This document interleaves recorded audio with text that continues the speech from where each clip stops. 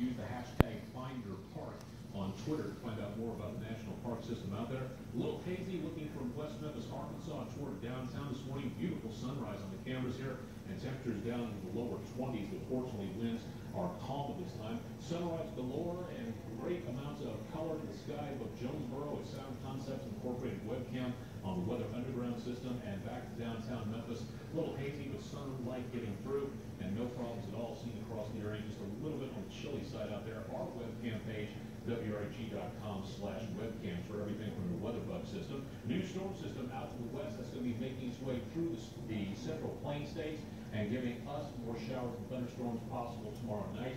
Right now, there's nothing going on. What is happening, the big weather story is, of course, the temperatures back in the lower to mid 20s across much of the mid south, 26 degrees in the News Channel 3 backyard, mid to upper 70s out across much of the area for percentage of humidity, and again, 100% humidity around St. Francis and Cordova, 23 degrees with a low of 20 so far, 23 with a low of 20 also at Cross County High School in Cherry Valley, Arkansas.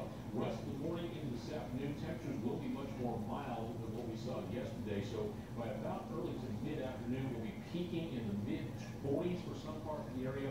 Lower 40s a lot more common out there, and that's a lot better than what we saw yesterday. Yesterday's high was very close to our normal low temperature, so that gives an idea as to how chilly it was. Tomorrow, or this evening, back in the lower to mid-30s after sunset. News Channel 3 at 10, lower to mid-30s, and by daybreak tomorrow, winds switch up out of the south. That's going to keep the temperatures up by just a little bit, so not quite as frigid tomorrow morning as it has been over the last